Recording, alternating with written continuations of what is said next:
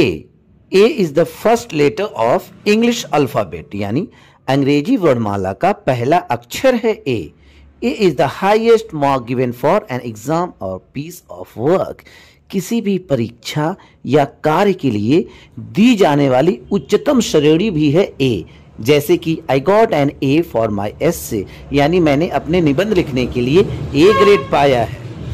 और एक स्थान से दूसरे स्थान तक के लिए भी ए का यूज़ होता है। जैसे all I need is a car that gets me from A to B यानी कि ए से बी तक जाने के लिए मैंने एक कार का इंतज़ाम किया है या मुझे ज़रूरत है। और ए का यूज़ वन की जगह भी किया जाता है। जैसे एक कप ऑफ़ कॉफ़ी प्लीज़ यानी एक कप कॉफ़ी दीजिएगा please we have got an apple a banana and two oranges यहाँ पर भी देखिए ए को यूज़ किया गया है।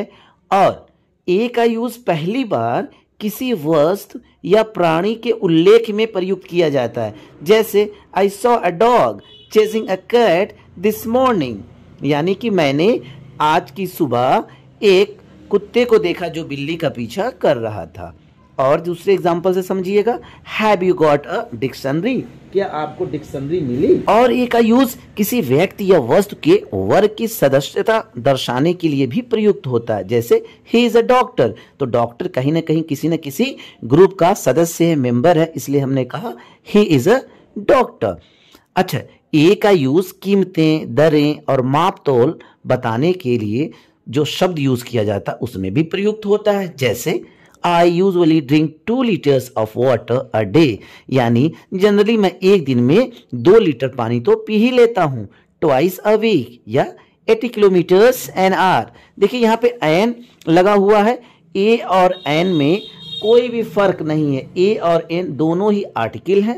एन का यूज़ तब करेंगे जब उसके आगे आने वाले वर्ड का पहला लेटर वावे मात्रा या संख्या बताने वाले कुछ शब्दों के साथ भी प्रयुक्त होता है ए, जैसे a lot of money a few cars और तो और किसी वस्तु के प्रतिनिधि उदाहरण के उल्लेख के लिए भी ए का प्रयुक्त होता है, जैसे an elephant can live for up to eighty years इस तरीके से ए का कई तरीके से इस्तेमाल होता है।